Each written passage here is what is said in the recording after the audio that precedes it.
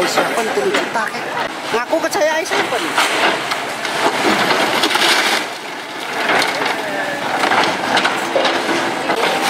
Berarti nu kandol teh kasing kasing kotak? Bukan.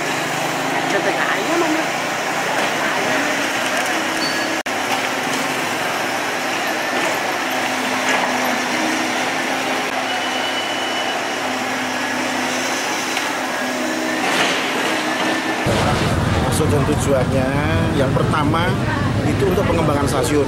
Jadi untuk tahap pertama ini adalah apa namanya eh, dibongkar atau ditutupkan tujuh bangunan rumah perusahaan dan bangunan-bangunan tambahan lainnya intinya semuanya sudah nggak ada masalah. Jadi ini didukung oleh kewilayahan juga terus tim penertiban dari PT Kereta Api.